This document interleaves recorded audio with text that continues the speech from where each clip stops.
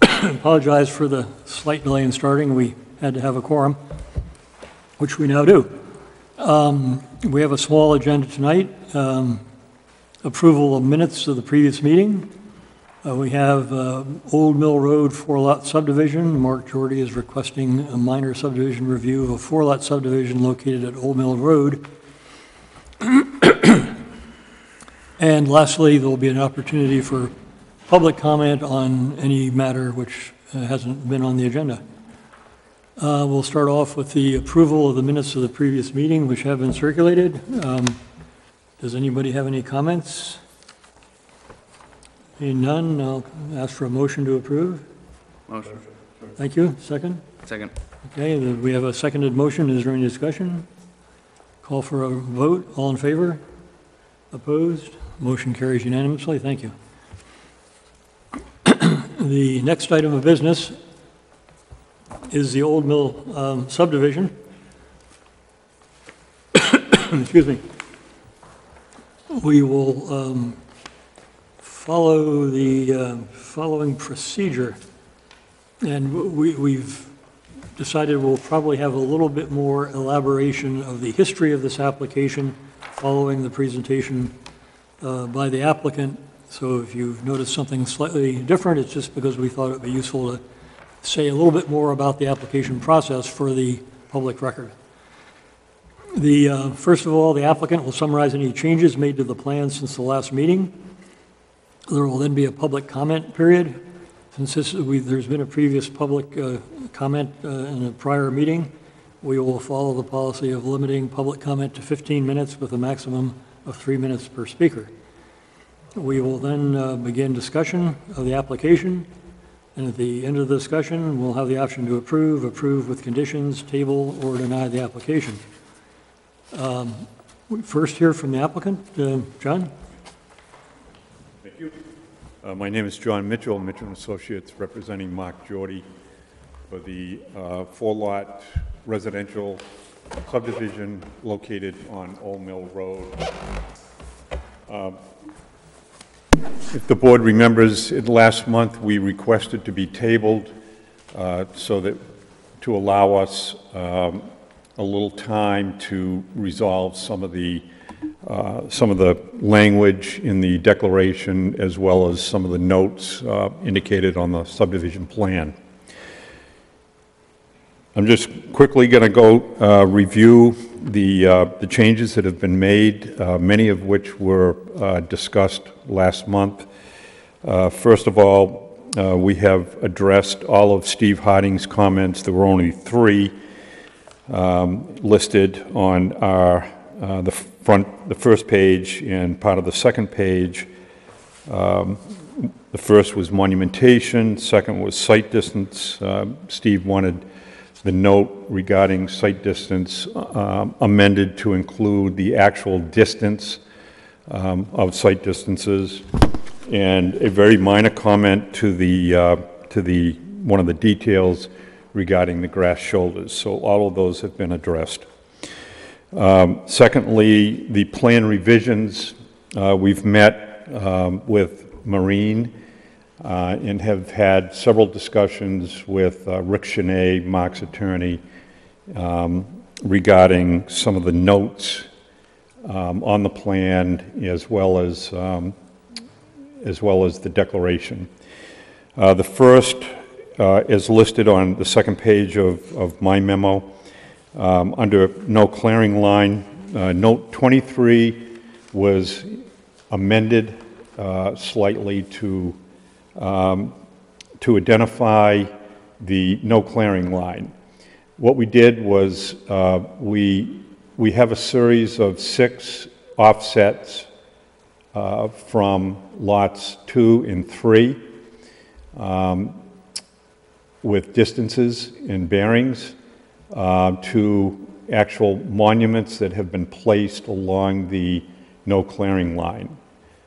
So this uh, very clearly establishes that line, and with a note um, 23 indicating that there shall not be any clearing, including mowing, uh, southerly of that line. Secondly, uh, we've established a, um, an area labeled groomed lawn area. Um, We've established by, this area by a series of crosshatch, uh, primarily in the um, setback areas um, of lots two and three. These are areas that are currently uh, being mowed, they're part of the meadow. And uh, note 18A uh, talks to this area, allowing the homeowners association to continue maintaining that mowed layer- area. Um, So, you know, we don't want any discrepancy or any misunderstanding, because these are areas that are currently being mowed, but they're outside the building envelope. Number three, um, there's a very small area uh, in the northeast corner of Lot 2 that we're labeling as uh, tree trim area uh, with a note, it's actually 18C, um, which uh, will allow the homeowner of Lot 2 uh, the ability to do any trimming or clearing of trees uh, in this very small area. It's an area that consists of uh, approximately, it's 30 30 feet wide by about 40 foot in length. So it's roughly 1,200 square feet. Um, Again, it's in the building envelope, but um, it, there are, there are some trees in this area that would uh, significantly block views to the, to the ocean uh, from this location here. Four, uh, number four is uh, common land. Um, There are just very minor um, modifications to note 23 um, regarding the common land. Uh, And again, we met with Maureen and reviewed all of these, uh, these modifications. Um, And then finally, uh, there was a note, note number 29 on the subdivision plan that was added that has to do with referencing provisions of the declaration um, on road maintenance. Those are the five changes that were made to the, uh, to the subdivision plan since our last uh, submission. Um, And as we have reviewed in the past, uh, we're requesting four waivers. Um, The completed HHE 200 forms, the scale not to exceed one inch equals 40 feet, a waiver on the road width uh, from 22 down to 14, um, and uh, the fourth waiver is uh, road alignment. The road alignment deviating uh, slightly from the center line of the 50-foot right-of-way. Are there any questions? Members, questions? John? Um, I, I don't know if this is more for, uh, the applicant or for Maureen, but the idea behind the no clearing line, what was that about? Maureen, do you want to? Sure. So um, I will, I will make it clear that this was something that I advocated for with the applicants, and they've come a long way. Uh, The main concern is that in the RP1 buffer, which is most of the common land, you're allowed to maintain existing lawn area. But where, where it's natural vegetation, you want to preserve it in its natural state. But the natural progression of most property owners is that the mowed area starts to encroach into the natural area.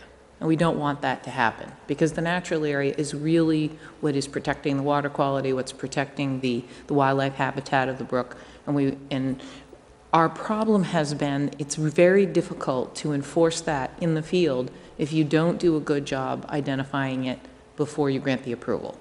So the applicants were asked to very clearly, to find a way, and there are different ways to do it, to really clearly document a line that shows where there should not be any more mowing. And south of that line, it is allowed to main, be maintained as just natural vegetation, which is what it is right now. And north of that line, it would continue to be mowed, which is what it is right now.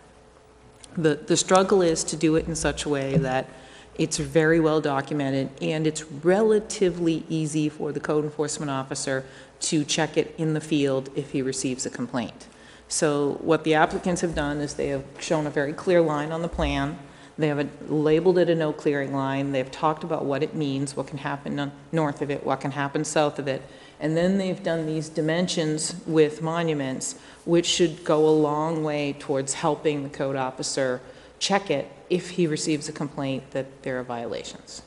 So that was that whole effort. And the applicant's okay with this? We are, I mean, it's, it's, it's been done. The monuments are in place.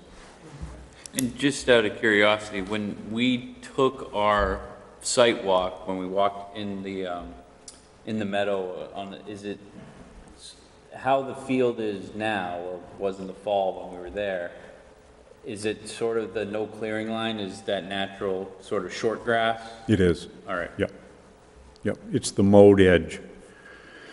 We actually took the monuments and we put them a couple, two or three feet into the, um, the taller grass so that the mower wouldn't, so the monuments wouldn't interfere with the mower. Maureen, to be clear, though, the, the goal of this no clearing line and these restrictions is to protect Alewife Brook, is that correct? It's, yeah, it's to protect Alewife Brook and to really put some teeth behind ex, the expectation that what the current regulations are, are actually going to be enforced. So if you're within an RP1 buffer, you're not supposed to be creating new lawn area.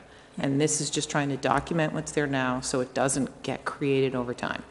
And the, the provision for not removal of stumpage is, I, I didn't, I guess I didn't quite understand that. Yeah, I'm glad you asked that. Um, Actually, that note that the applicant has is a note that's evolved over time by the planning board.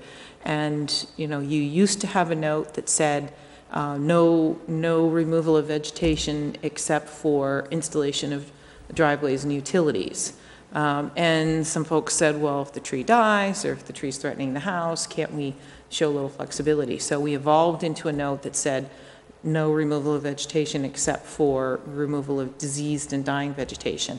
And then what happened is all of a sudden, we had an incredible flurry of very sick trees all the time, um, with really healthy-looking stumps.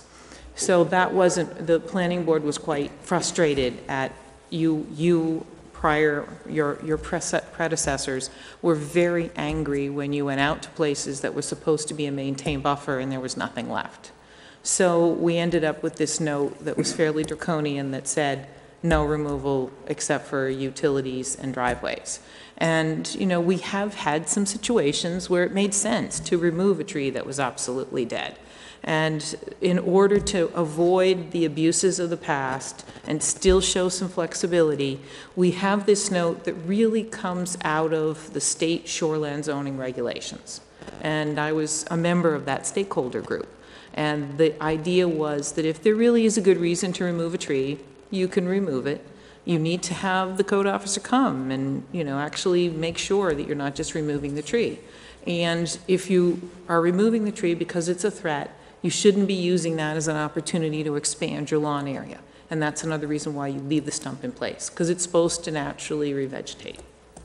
That, that's how the whole thing has evolved. And this note is the same note that you applied to the most recent approval for the old Sea Point subdivision. But just to be clear, mm-hmm. if really, really dead tree, you cut it down, you have a two-foot stump. you Leave can't- stump. You can't come in with a stump grinder and No. take it out. No, because it's, it's supposed to be a natural, what happens is you want to maintain the duff layer, which has the tree, has the leaves and the pine needles, and um, people are just incredibly tempted, once they take out the stump, that all of a sudden their lawn starts to grow, and they reseed it, and they start mowing it. It's supposed to be natural area. Uh, Henry? Yeah, it just, the common, lot four, common land and the common area there, this is common just to the, to this, to this area, not common to, uh, public. Correct. Public access, correct? Correct. So forgive me, who's to complain about the removal of anything?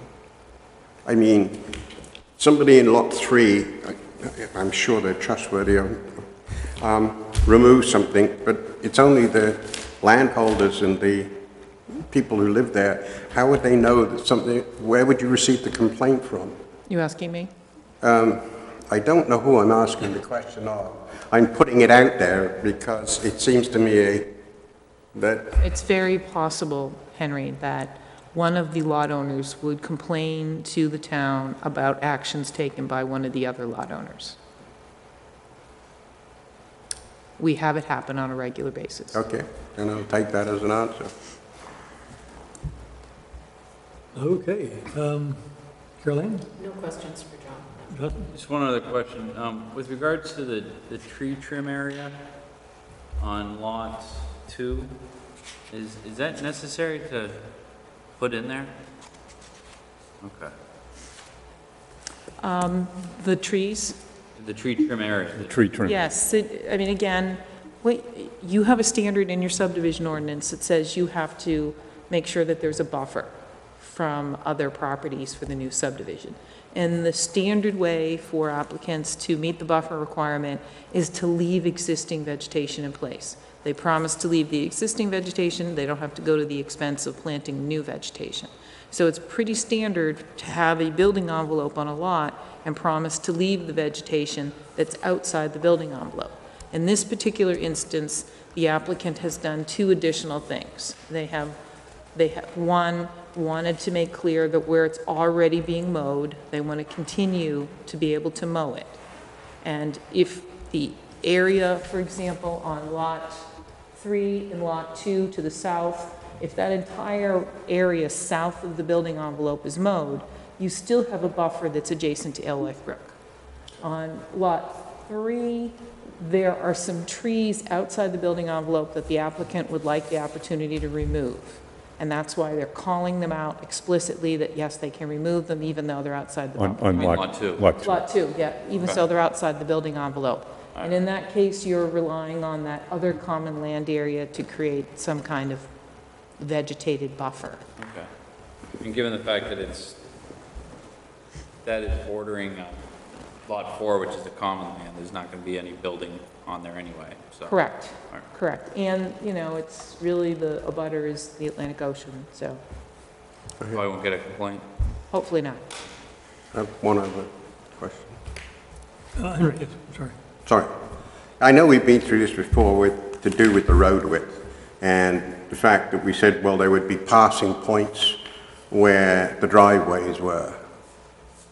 Correct? Correct. The only thing is, when I look at the plan, I, I don't see how you're gonna actually pull off if you're coming up towards Old Ocean House Road, and there's a car coming down towards the other. Um, it doesn't look like there's a, a shoulder to pull it, just sort of a right angle to the, to the driveway. Is it gonna be shouldered, or is it gonna be a gentle thing? How, how would you pass uh, without pulling down the runway, um, the drive? Well, first of all, the, the, uh, the proposed road improvements, we're widening that from its present width to 14 feet wide. Right. With two-foot wide grass shoulders. So. So a total of 18 feet, So you put, you're suggesting they pull up onto the grass shoulder? if they have to. I mean, the, the current paved section in the front, right here, Henry? Right. Is 14 feet. Right. So it's, it's the same width as we're proposing for the balance of the road. All right.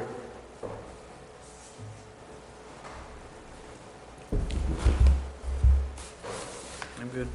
Okay, John, thank you. Uh, Thank you. We'll now uh, have an opportunity for the board to discuss with each other the uh, proposal. I'd like to just run through some, thank you.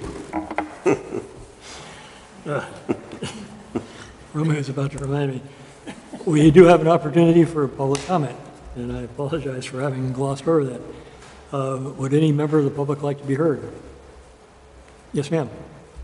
If you'd like to take the uh, podium, oh, that's, we'll do the best we can. If you could give your name and your address, please? Yes, Barbara Wickham, 20 Old Mill Road, Cape Elizabeth. I just wanted to ask, I know you're avoiding ledge on the road, and it's deviating in some way, and I know you have this information, I'm just not getting it yet. How is it deviating? In other words, is it moving in towards my lot at all? How is it being altered, is the question. Oh, uh, Perhaps uh, John can respond to that. I- I Sure, the Mr. answer- Mitchell, you got but the- sure can When she's done and steps away from the podium. explain it to me. Go to a different plan. So, the, the roadway, the alignment of the roadway, of the proposed roadway, will be exactly the same. And where it deviates out of the, out of the center line of the 50-foot right-of-way is in this area right here, where that large ledge outcrop is. I mean, that, the assumption is that's why they did this originally. Um, but- But we're not, we're not changing the current alignment. Yep. Yes, ma'am. Is that it? Uh, Is is that all you had to? Okay, thanks. Would any other member of the public like to be heard?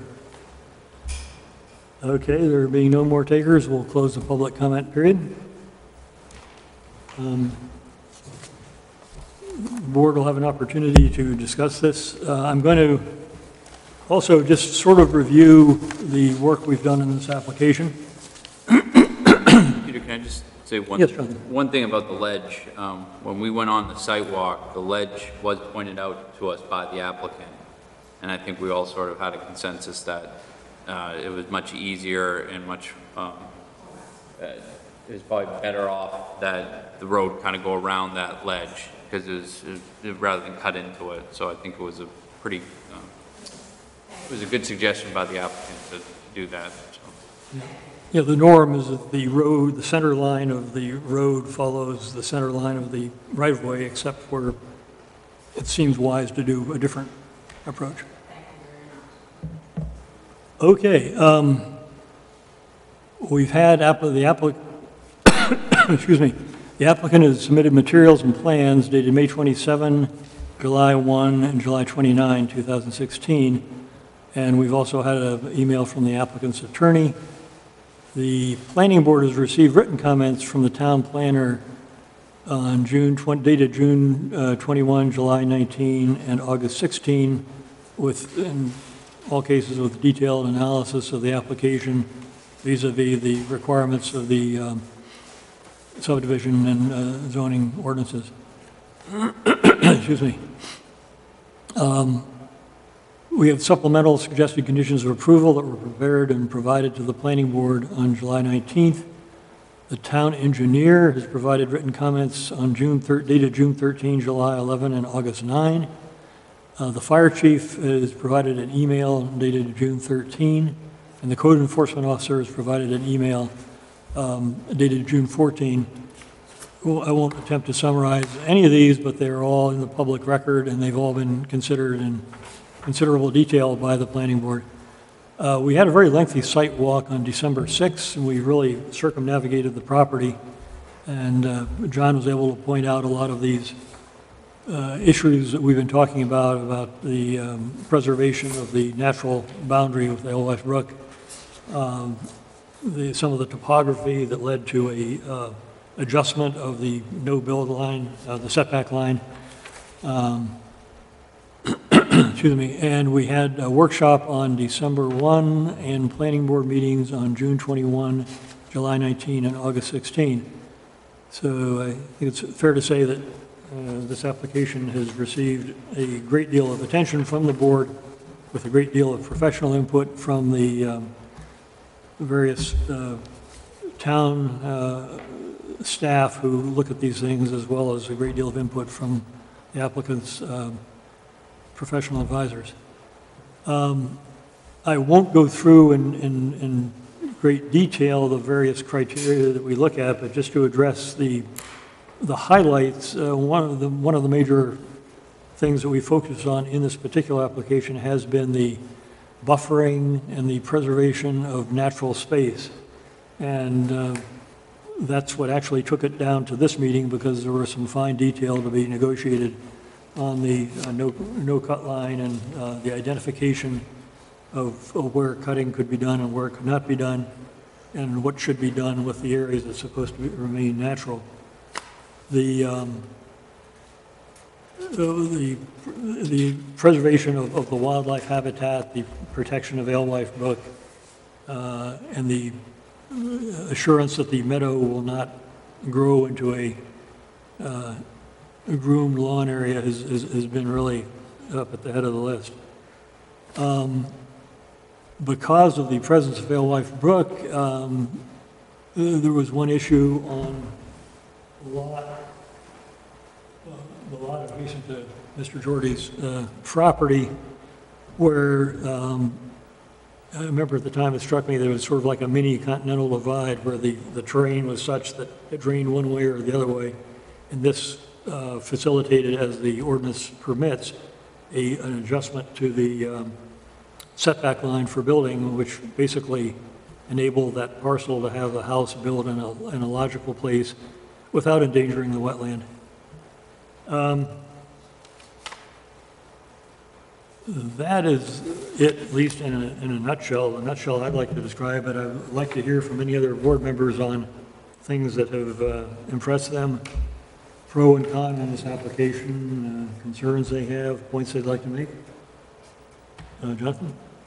Um, I, I thought the applicant did a good job with sort of, this, this evolved from originally when it came in, um, with regards to where water lines were gonna be, the the road.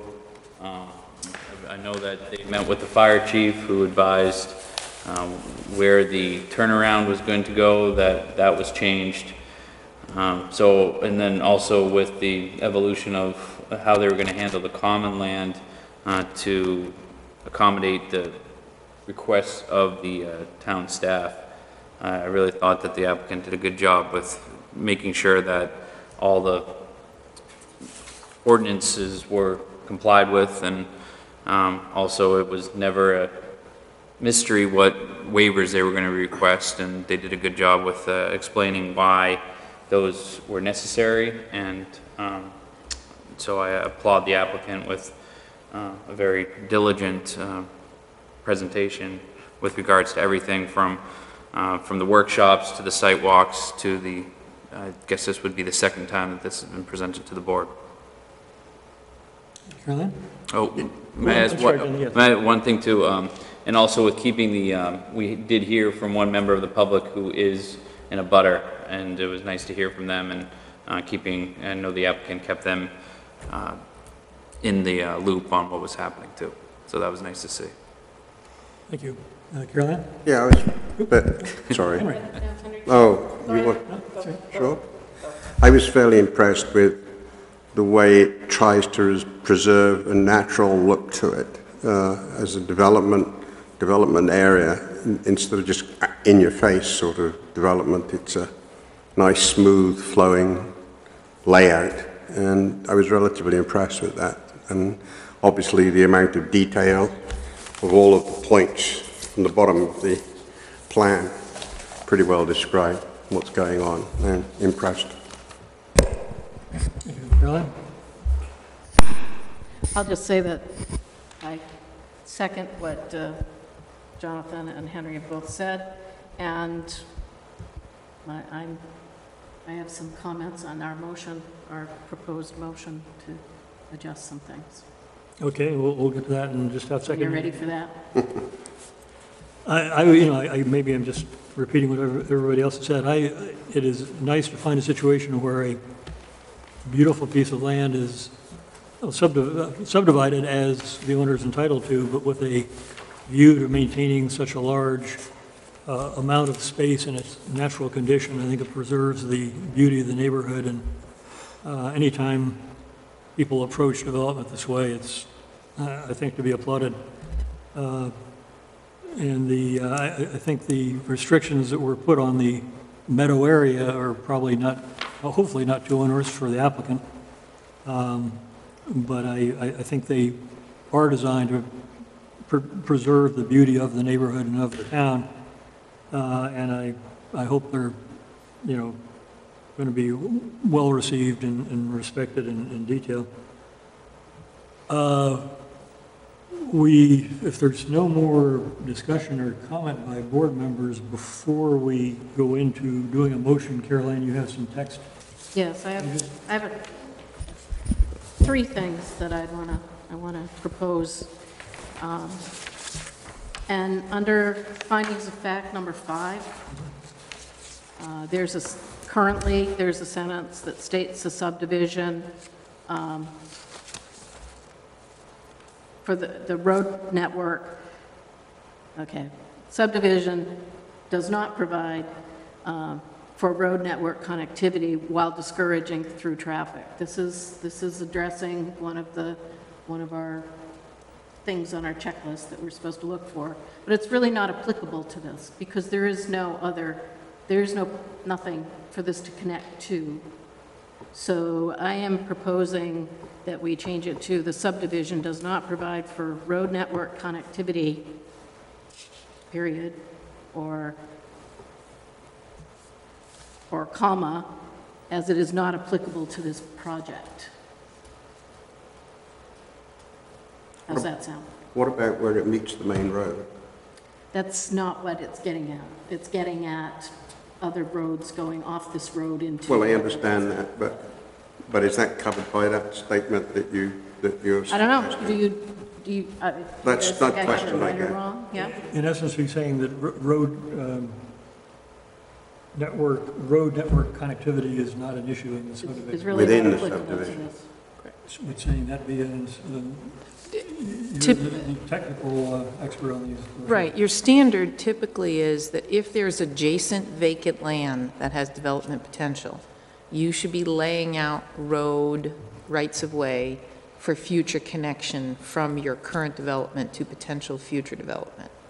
In this instance, on the southern side of the property, you have Alewife Brook, and so there's really no development opportunity crossing Alewife Brook. On the northern side, there is already a road that connects to the northern side called Old Mill Road, and also another road further down that connects uh, to a driveway. And then um, you have very little frontage on Old Ocean House Road that would merit the need to connect to Old Ocean House Road. You already have a connection. So you usually lay out the connection when you have a large chunk of adjacent undeveloped land.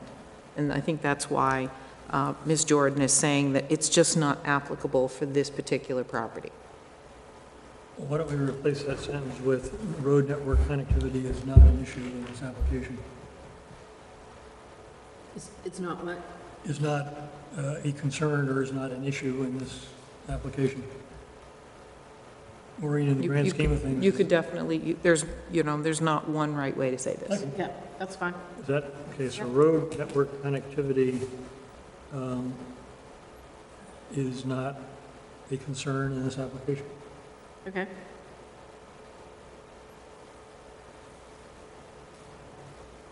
All right. Further down on number five. Could, could I just, Okay, go ahead. it's just when you say something like that, you should probably say, because there are no large abutting vacant properties. Okay, I'm writing You see what I mean? Yeah. Okay. Okay, because there are no large abutting properties.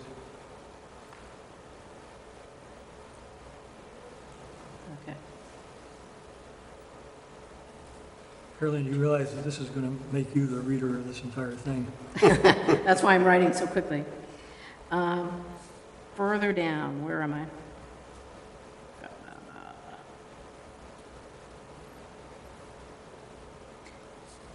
The last sentence, where the option is roads are or are not designed to meet town standards. On- last five, Number five, very last sentence, that currently, as it's currently written. We are, two sentences before that, we are addressing a waiver to the town standards. So how do you answer that question? How do you answer that sentence? So I'm proposing that it be, roads are designed to meet town standards with approved waiver. And if there's a better way to state that, please jump in and say. Within the approved waiver? So, Yeah, because we, the narrowness and the, yep, so, okay. uh, meet town standards um, with, And approved, With with, approved- with the, appro- with with the the above waiver. yeah, I with mean, the the- waiver is addressed two sentences before this, okay? so. And then, at the very end, under conditions of approval, I'm proposing that we add a condition of approval stating that a performance guarantee shall be submitted prior to construct, prior to beginning construction of the road. I'm sorry, could you repeat that? Performance guarantee shall be paid prior, submitted, paid prior to beginning construction of the road. Or beginning road construction, however you want to say it. but- That's, uh, Is that in the conditions? it's under, it would be adding that condition. Number five. I'm not, I'm waiting for uh, others to accept these, I- you know. Just with, is a performance guarantee necessary with regards to the, the road, or would that go to the individual lots? The, the, I mean, the ordinance requires a performance guarantee whenever there's any road construction. And to be very brutally honest with you, um, the chances of your approved plans actually being built um, are greatly enhanced when there's a performance guarantee. So the performance guarantee means that the applicant, have to post a financial guarantee that they're going to build according to the approved plans. It pulls in the public works director and the town engineer to do inspections. They pay an inspection fee to cover those inspections. Where you have not had performance guarantees is where you've had the biggest problems with compliance with your approvals. Okay. And, but that's something that a person would have to do anyway? Yes. And, and I'll tell you why I brought it up. I was struggling with something, and it was, do we have the road built prior to building, you know, that the road must be built prior to issuance of a building permit? But logically, to me, it says, I don't want to build a new road and then run construction equipment over it.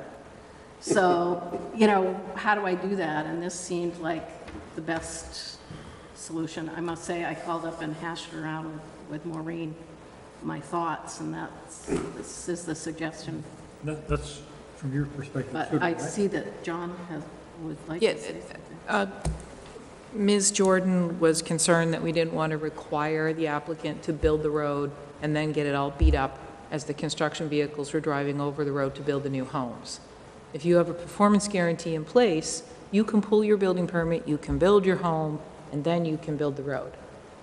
Because the town is holding the money that guarantees that road construction will happen.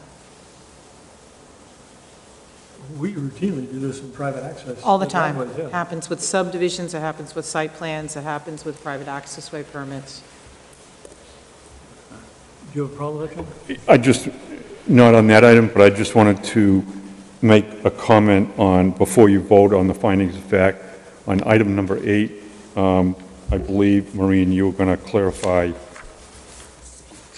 that item with the board, that last sentence in item eight. Yeah, I was going to point out under item eight, the third line, greater speci- specificity, I would change the verb shall be to is. Oh, okay. I'm with that. That's eight? Number eight in the findings of fact. Maureen, special, uh, condition number three is a condition that we grant the waivers. We actually have already granted them Well, earlier in the resolution, right? no, this, the, the- you don't do anything until you actually say be it, therefore be it ordered, which starts in the bottom of page seven. So this, I mean, in the past, you have never officially included the waiver granting in your motion. The fact that you approved plans that showed waivers was considered you, the implication you granted the waiver. We- in the As, findings of you fact, well we say know, that A waiver is granted. correct. But the findings are supposed to support the motion. So the motion is, the- is the action. So it's just reiterating what the findings are. The finding is just, re- the finding No, is just re- Formalize reiterating what is in uh, condition three of your motion. Well, I guess the point I'm making is that Right. therefore be it ordered is the That's the final act of approval. Correct. And we say, et cetera, et cetera, one, two, three, four, five. Number three says that a waiver has to be granted, which implies it hasn't yet been granted, so don't we need some lingo in here somewhere to say it is hereby granted? The reason, under number five, on page six, you are required to make a finding that the roads are laid out to conform to existing topography as much as is feasible. Mm-hmm. And the waiver is referenced there in order to show how you are changing your approval in order to comply with topography. So if you don't like the tense, you can say a waiver from the road width is proposed to be granted, or will be granted, or is requested to avoid, you, I mean, you could do all of that if you wanted. But then how do you document that it actually has been granted? The granting would be under the motion on page eight. That, that condition number three is my effort to explicitly allow you to grant a waiver. Yeah. But doesn't that imply there's something else that's going to happen to say that the waiver has been granted? No, number three says the planning board grants Grants waivers waivers. for road width and road alignment. All this is, is a statement that explicitly acknowledges that you've granted waivers in Okay, these two areas. you're saying that is the grant of the waiver itself? I'm saying number three on page eight is the actual grant of the waiver. Okay, even though it's listed as a condition, that's what I think confused me. Right, and, Right. you know, we can do it a different way, that we're, we're kind of, Yeah, You know. maybe, maybe you quibble, okay, I got it. Uh, Caroline, are you all set with your. Are you guys, are you guys all good with my suggestions? I mean, What was Can number? I ask what your wording is on, on condition five, please? The performance guarantee. well, mine's pretty generic, mine's pretty choppy. Mr. Mr. Chair, am I, am I permitted to comment on, on one of these points or no? Yes. uh, excuse me, uh, Mark, yeah? Am I permitted to comment on one of the suggestions that's been made or no? Uh, At this point, probably not.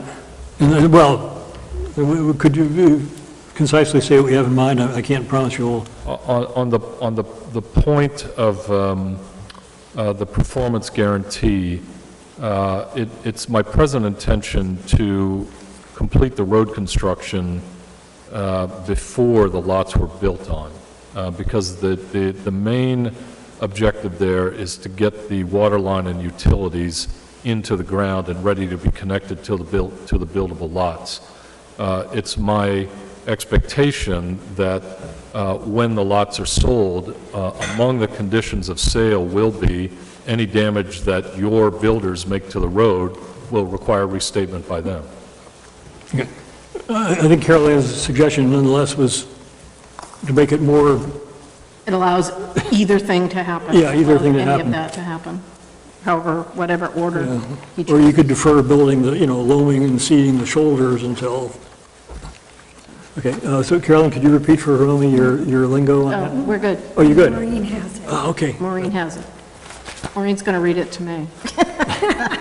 Okay. Okay. uh, Since you have all this text bef- in front of you, would you mind, Carolyn, reading the uh, the full dog and pony show? Full document? I'll do my best. Thank you. Okay. Motion for the board to consider findings of fact. Mark Jordy is requesting a minor subdivision review of a proposed four-lot subdivision located at 41 Old Mill Road, which requires review under Section 16-2-3 of the subdivision ordinance. Two, the subdivision will not result in undue water pollution. The subdivision is located in the 100-year floodplain, however, no alteration is proposed within the floodplain. Soil will support the proposed uses. The slope of the land, proximity to streams, and state and local water resource rules and regulations will not be compromised by the project. Three, the subdivision lots will have sufficient quantity and quality of potable water through the connection of a proposed public water line to be installed on Old Mill Road. Four, the subdivision will not cause soil erosion based on the erosion control plan provided. Five, the subdivision will not cause unreasonable road congestion or unsafe vehicular and pedestrian traffic. The subdivision this is one of the ones that I've got scribbles all over. The subdivision road network connectivity is not a concern on this application because there are no large abutting parcels. Um, Okay, where am I? Lost my... Roads are laid out to conform to existing topography as much as is feasible. A waiver from the road width and road alignment will be granted to avoid a to- top- topographical change by remove- by removing ledge knoll and minimize the removal of trees. All lots are provi- provided with vehicular access. Roads are designed to meet town standards with the above approved waiver, or when the above waiver is approved, whatever, however. Six, the subdivision will provide for adequate sewage disposal. Final HHE 200 subsurface water, wastewater disposal forms will be reviewed by the code enforcement officer prior to issuance of a building permit for the lots. Seven, the subdivision will provide for adequate solid waste disposal. Eight, the subdivision will not have an un- undue adverse impact on scenic or natural areas, historic sites, significant wildlife habitat, rare natural areas, or public access to the shoreline. Greater specificity is provided on the location of the natural vegetation line adjacent to Alewife Brook to prevent encroachment of the groomed vegeta- vegetation area. Nine, the subdivision is compatible with the applicable provisions of the comprehensive plan and town ordinances. 10, the applicant has demonstrated adequate technical and financial capability to complete the project. 11, the subdivision will not adversely impact surface water quality with preservation of the naturally vegetated area adjacent to Alewife Brook. 12, the subdivision will not adversely impact the quality or quantity of groundwater. 13, the subdivision will comply with the flood floodplain regulations, Chapter 6. 14, the subdivision is in compliance with the town wetland regulations in the zoning ordinance with the preservation of the naturally vegetated area adjacent to Alewife Brook.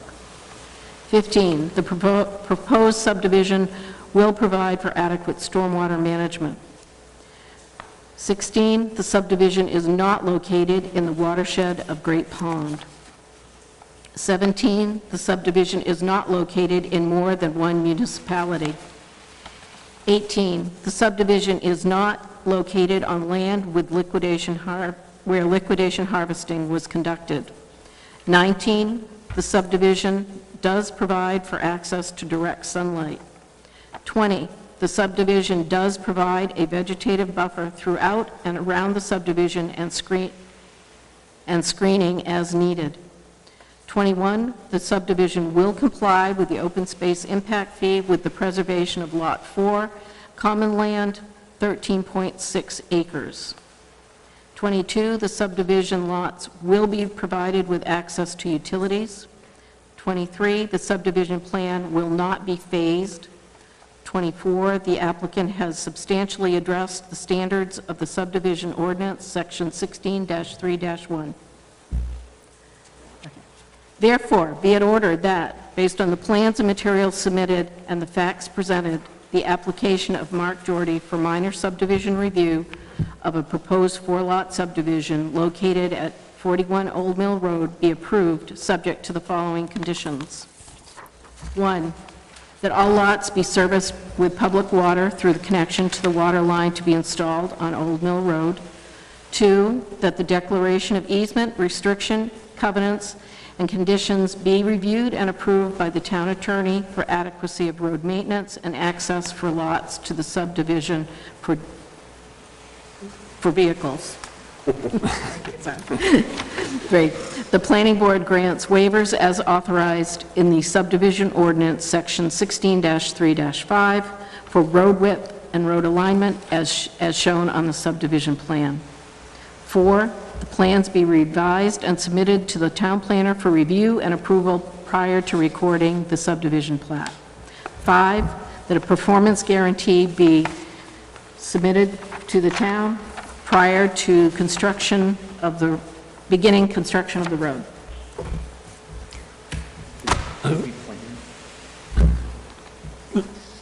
I'm sorry?